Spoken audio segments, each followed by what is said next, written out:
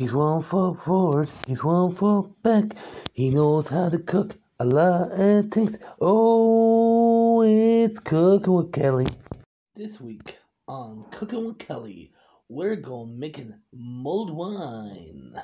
cloves, one orange, brown sugar, some lemon, ginger, a bottle of wine, as you see, a bottle of red wine, cinnamon, allspice, cranberries.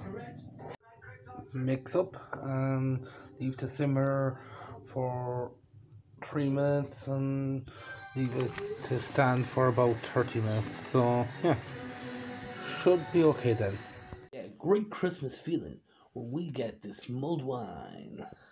Apple pie and some mulled wine. Thank you for watching Cooking with Kelly. See you again